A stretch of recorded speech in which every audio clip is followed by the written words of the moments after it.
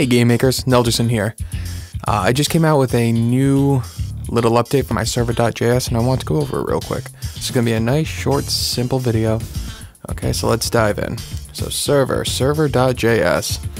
Um, did a couple little things up here, but the biggest change and the only change that I made was this static server. Um, app use, the route static is an express static with a public folder. Now, I did not include the public folder in the actual server module. I require you to actually make the um, the public folder, but I will explain why we do that in a second. So let's go over this really quick. So what? So I just said that anytime you hit the slash static, it looks in your public folder for a static file. Um, this is usually used for uh, web pages, you know, images, you know, things of that nature. Instead of, you know, you have a cat GIF or something like that, you can have your cat GIF on your server. That way, it just it's locally cached. It's just easier to call within your web app or your web page. Okay, that's what this is primarily used for. This static. Okay, but for us in RPG Maker, we can also use a static server to run our game. So let's get into that. Let's let's talk about our game. So let us, you know, we have our good old Project 6, okay? If we wanted to deploy this, um, which there's nothing here going on, but when you're ready to deploy, uh, you can deploy for a web browser, you know, exclude and do all that. Hit OK. I've already done it off screen. And what I am going to do really quick uh, I'm going to go into my server folder and I'm going to create that public folder at the root of my server. So let's create that public folder. Open that up and I have my oop, my project 6 file off screen that has my www folder and all my stuff. So, uh, I think to explain how the static server works, it's easier to just to just do it. All right, so let's open up the terminal and let's just make sure I'm in the right place. Uh, I want to cd into my server. And then I already have my node modules installed and everything like that. So if I hit npm start, it should be running on my local host. So if I go to my local host, host slash 8000, uh, I'm sorry, port 8000, uh, nothing should happen when I click this. Or, uh, well, this is the example, so that's, um, that's actually part of the login script, so that's not a big deal.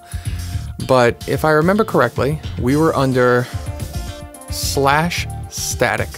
So if I hit slash static, uh, nothing should happen. It'll tell me it can't find anything, I believe. So if I hit slash static, it's like, hey, what are you talking about? There's nothing there. However, if we actually look in that, that uh, public folder really quick, uh, public, we do have a project 6 and then a www and then an index, index.html that actually runs our game. So the way that this works, public, it's looking in the public folder for whatever you're trying to serve it.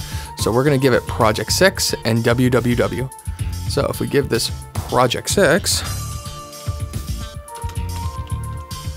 and www, it should automatically look for index.html. That is the default for any uh, Express static server. It looks for index.html initially. So if we click this, voila, we have ourselves the game.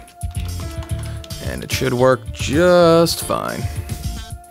Yeah, so this all works. Uh, so this is how you would serve up your game. Uh, which also brings up the question, could you use it to serve up a web page? Absolutely. So let's go back to our public folder really quick. Uh, actually, let's open this up in Atom. So let me bring this up here. Okay, let's close that out. Don't save. All right, so if I come into my server, go into my public, and I let's let's add at the root of our public. Let's add a new file, index.html. Okay, and let's just do a basic uh, boilerplate. We're just gonna throw some testing stuff in here. Nothing too complicated.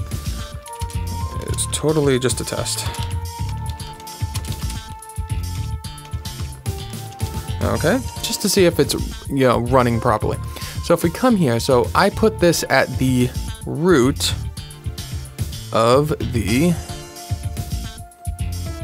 I put this at the root of the public folder. So I should be able to do slash static and it should pop up with this index.html. Yeah, this is totally just a test and testing up here. So that's how static servers work. Um, so you can have, uh, notice how I have for project 6 with a www. I could have a project 7 and a my awesome game and a, you know another and another and another. So you can have you know as many as you want technically running on the same server. Now, if your games are really popular, I don't suggest doing that. Uh, but at first, just a prototype and get things out there, or you know, show your friends. You know, you're really not that big. I mean, you can run quite a few projects off this, and it, it's really not going to affect your server if you have something decent. So, yeah, that's how this all works. You know, simple, but if you're not used to running your game off a server, this is just another way of doing it. Hey guys, nice easy one, really quick. Uh, I'm hoping to release another uh, tutorial and another plugin real soon, so stay tuned. Uh, hit that subscribe and like button so you get updates on everything. All right, later, game makers.